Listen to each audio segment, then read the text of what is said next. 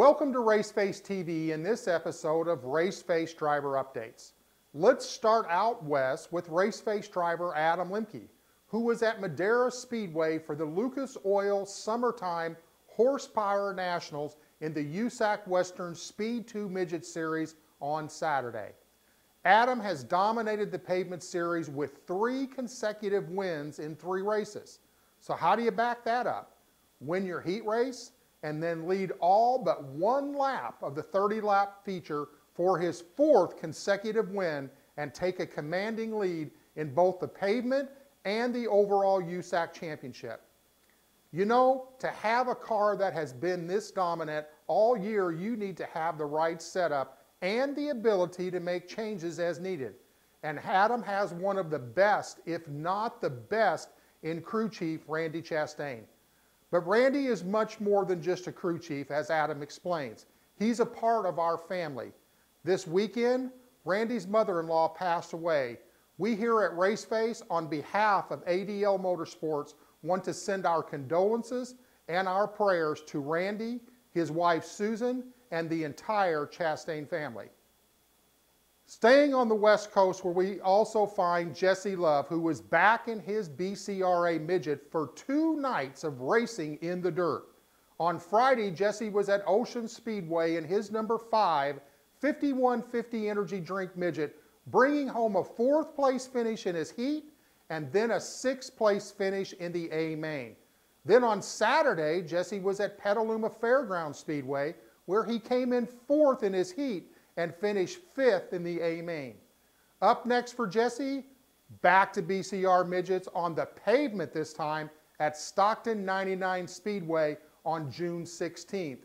And maybe a little road racing at Sonoma in the INEX Legend Car Series.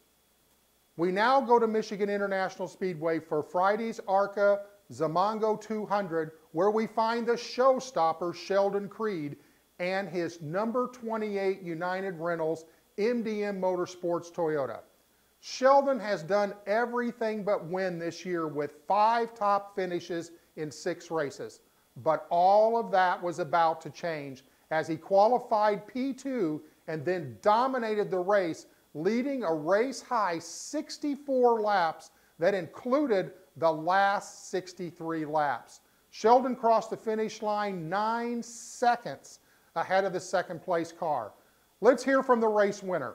Sheldon, even though it was only your 25th ARCA Series race, it really seems like it has been a long time coming here, and it really seems like finally you made it to victory lane. Yes, sir. I mean, it's been uh, it's been tough. I've I've won in probably so many different race cars, and I usually, I guess, wouldn't take too long to, to get the job done. But um, this is just a lot harder to get the job done. It's not just me in the race car anymore. It's it's a whole team. So I think it took me a while to get used to that and, and, and how to drive the race cars, but um, finally put it all together. Now, not only did you win the race, but you also took the championship point lead over your teammate Zane Smith. Is it too early to be thinking points, or is that always in your mind? Uh, I don't think it's too early. I think we've been thinking about points since round one. Um, we've been consistent. We've, we've done what we need to do, and uh, I think I don't think that battle's over yet. I think the 41 and I are going to go at it the rest of the season, and um, know, hopefully we're on top at the end. Now, is that competition going to be all the more tougher because you guys are teammates coming out of the same shop? Is that going to make it that much more competitive? Oh yeah, I mean um, our setups are close every weekend, and uh, we both have fast race cars every weekend, so it, it puts a, a lot of it in, in, us drivers' hands. So I think that's what makes it fun. Uh, Zane and I are pretty good friends, and uh, you know we, we race each other hard, but uh, but we're still buddies off the track. So um, I don't think that battle's over yet. I think we're going to see that the rest of the year. All right, congrats again. As you heard in that video clip, Sheldon has now taken back the points lead from teammate Zane Smith. Sheldon will be in action this weekend at Madison International Speedway in Oregon, Wisconsin for the ARCA Herr's Potato Chip 200. Raceface driver Sam Mayer was at Ace Speedway on Saturday night in the Cars Tour driving for Dale Jr. Motorsports in his number 9 Menard Chevrolet. It was a short night for Sam as he got caught up in the big one early in the race that ended his night. Last night, Sam returned to the Bojangles Summer Shootout at Charlotte Motor Speedway in the Legend Pro Car Series. They raced in wet conditions, but that didn't stop Sam from bringing home the victory. Round two is tonight. Last year, Sam won the Young Lions Championship, and it looks like he has his sights on the Pro Championship for 2018. Drivers Anthony Alfredo and Ryan Vargas were off last week, but will be back in action this weekend in the NASCAR K&N Pro Series East at New Jersey Motorsports Park for the first road course race of the year. Let's now take a look at the race face next drivers.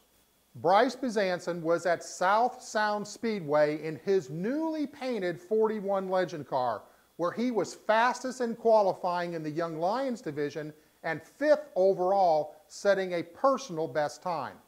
In the heat race, Bryce brought home a first place win in the Young Lions and finished fourth overall. And in the A main, again, first in Young Lions and sixth overall, even after suffering a spin that sent him to the back of the field. Bryce was to race at Deming Speedway on Friday in the mini sprint, but Mother Nature did not cooperate and the race was canceled due to rain. Up next for Bryce, mini sprints at Deming Speedway on June 15th. Next driver Joe Valento was at Princeton Raceway in his 03 micro sprint on Friday night for his last probationary race at that track. The probationary period is in place for young rookie drivers that require them to start at the tail end of every race. In his heat race, Joe finished fifth that earned him a 10th place starting position for the feature. Joe was charging to the front, gaining a position every two laps when he had to avoid a car that had spun in front of him but was hit by another car that caused major damage to his exhaust system, resulting in the car losing its power. He was not able to maintain race speed, ending his night. Well, that's racing.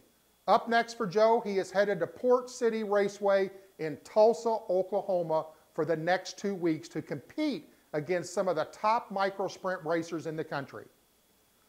The Sokol Motorsports Red Army invaded Texas Motor Speedway for the USAC Quarter Midget Wild West Nationals. On day one, they were able to put nine of 10 cars into the A mains on Saturday. Saturday was an awesome day, seeing both Colby and Justice winning national titles. Justice took first in heavy world formula, third in heavy unrestricted animal, and third in heavy 160, while Colby won senior animal and placed third in light 160. Think about that for a moment. They got podium finishes in five of the nine races. Up next, the mini Indy regionals in Indianapolis all in preparation for the Indy USAC Nationals. Well, that's it for this week's Race Face Driver Updates. As you can see, racing is in full swing, and that won't change this week. If you haven't liked our Facebook page, please do so at facebook.com forward slash racefacetv and subscribe to our YouTube channel at Raceface TV. And if you need to catch up on any of our shows that you might have missed, check out On Demand at raceface.tv. And as always, we encourage you to support local racing in your communities, and we will see you back here next week for more Raceface Driver updates.